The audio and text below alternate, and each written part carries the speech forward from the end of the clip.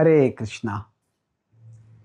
Kalki movie making sense with Bhagavad Gita. This is the second part of the video where I will address specific things depicted in that movie.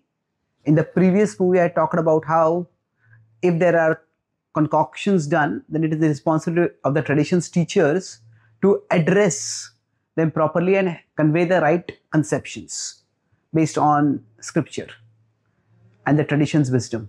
So today I'll address three main issues. The first, of course, is the issue of Kalki. Now, here it is depicted that Ashwatthama was cursed by Krishna that he would have to wander alone till the time when he would save a future avatar of Vishnu and then he would be relieved from the curse. Now, the, the cursing of Ashwatthama is an incident mentioned in multiple places, in the Mahabharata also, in the Bhagavatam also, and this is definitely not mentioned uh, that way in the, these books. Now, in the Bhavishya Puran, in some versions, something similar is mentioned. The, the Bhavishya Puran is often a much uh, touted book. It, our traditions, acharyas have been quite sparing in quoting it. And it's almost widely understood that there are interpolations in that book.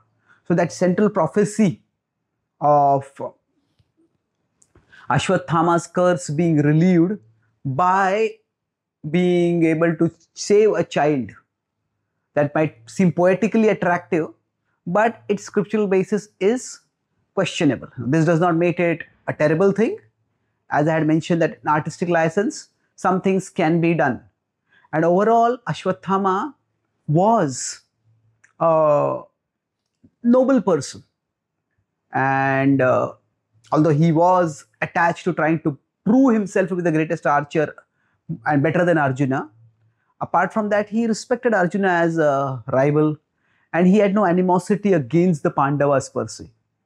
But it was after Drona was killed and after Duryodhana told Drona told him that the Pandavas had killed Drona in a cold-blooded conspiracy, which was a complete distortion because actually it was Drishtadyumna's individual act of anger and cold-blooded hatred that led to him lopping off the head of Dusha, Duryodhana of Dronacharya when he was meditating.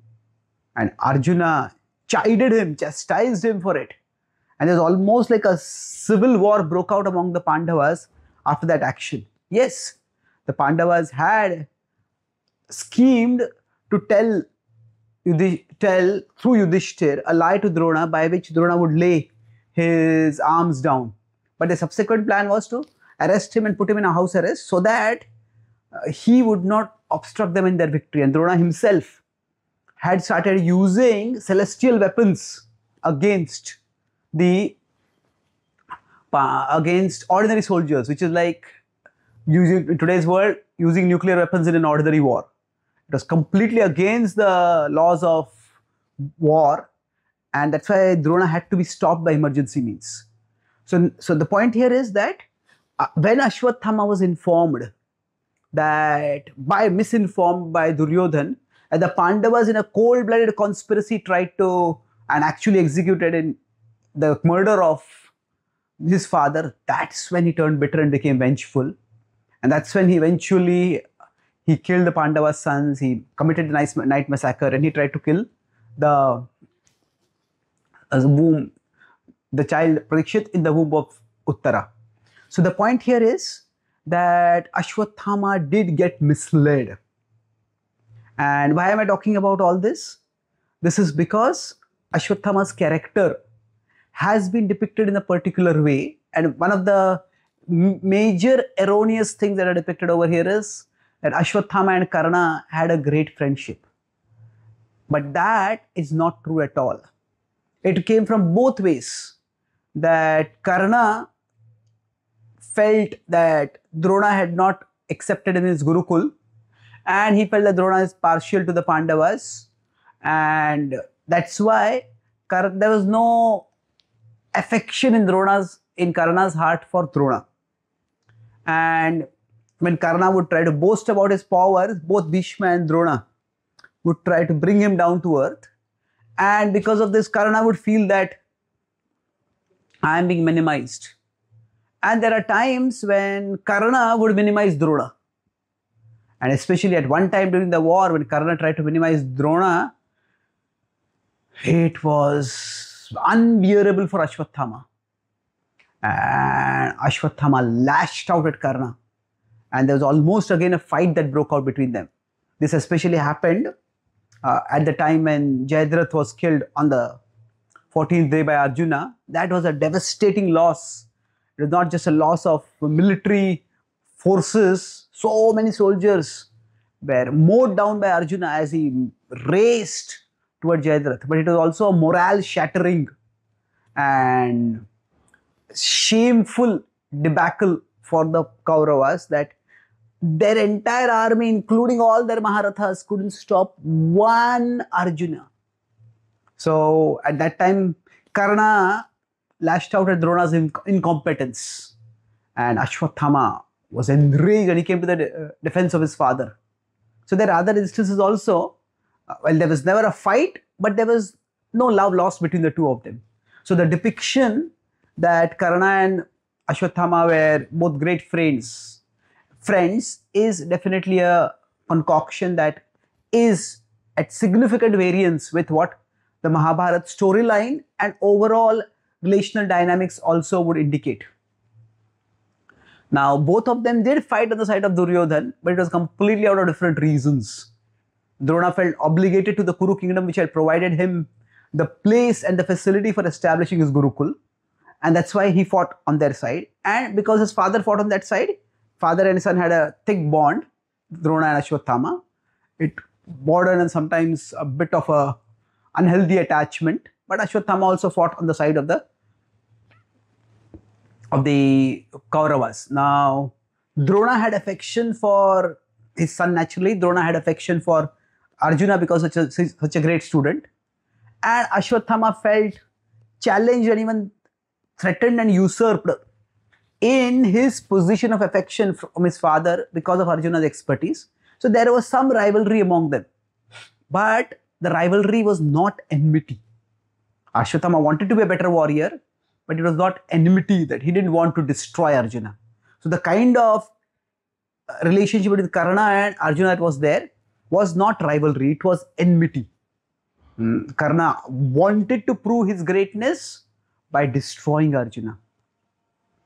So the relation, reason I'm saying this, although they were both on the same side, they were not great friends. And there were times when their differences of opinion were quite severe.